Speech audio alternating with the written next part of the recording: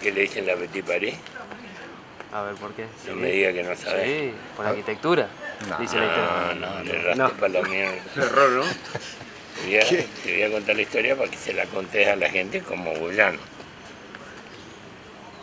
Cuando la época de las vacas gordas acá traían, las modelos venían de París, la ropa de París, y los, los, los que hacían las cosas de París. Se hacía un desfile acá en Buenos Aires para la sociedad porteña, otra en Montevideo y otra en la sociedad este, en la comunidad social de Paraguay. Asunción. Pero, Asunción, de ida hacían una parada en Goya. Y ahí se hacía una, una- un, un pequeño desfile para la sociedad correntina.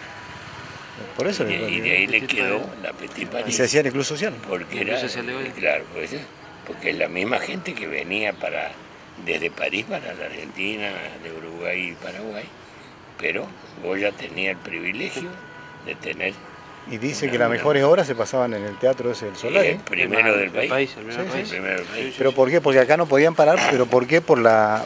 Porque, ¿cómo es? Estaba la...